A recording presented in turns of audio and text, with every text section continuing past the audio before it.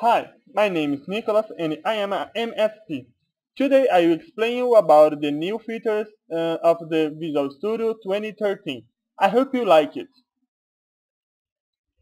First, I will open the Visual Studio 2013. And a new feature that we have here is that we can get a sign in an account on the Visual Studio. Look. This new feature will make us get the us our preference in this tool.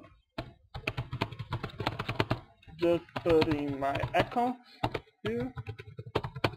And look, the Visual Studio will get now my preference, like the colors and other things. So it's a very good thing that we have now in the Visual Studio 2013. Now I will open up my project of my university that is in the TFS. So let's go.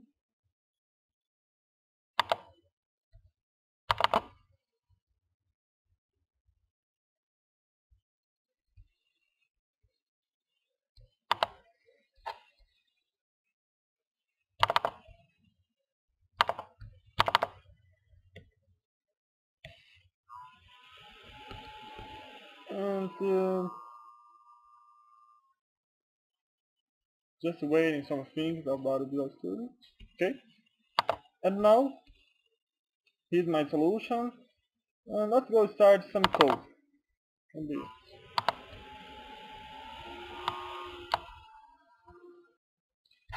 The first thing that I will show you is the scroll map option. Look, this is very good thing. I go to the scroll map, scroll bar options, use map mode.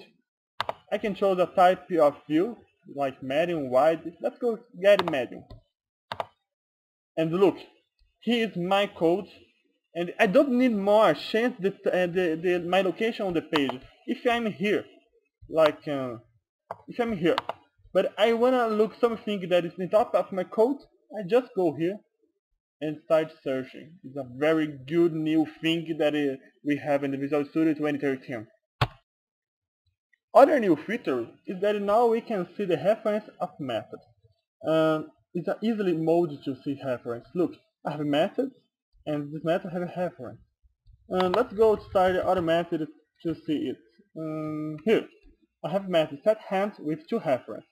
I want to see who call it. Look, these lines, the method they call it, and easily mode to see it. And look, if I want to see the code map, here I can see a flowchart of these methods and reference, and a good new thing too of the Visual Studio 2013. I don't want to save it, so no. The last thing that I want to show you about Visual Studio is uh, the pick view. Look, I can get a method that I'm calling and use Alt F12 and I can go to inside of this method. I can use it with class and other things too. Look. And I can use the navigation. This very good thing.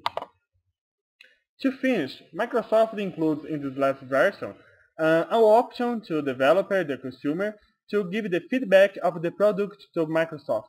So look, and I like this, this option of the pick view. So I can go here and the feedback.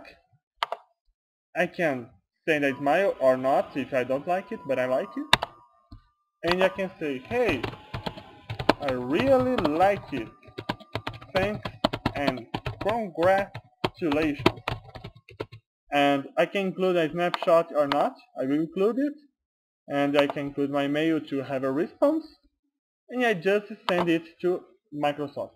Now Microsoft know that I like it or if I don't like it and this will help the Microsoft to, to make a good versions of the Visual Studio. If you wanna know more, access Microsoft.com. Thanks for watching and see you. Bye bye.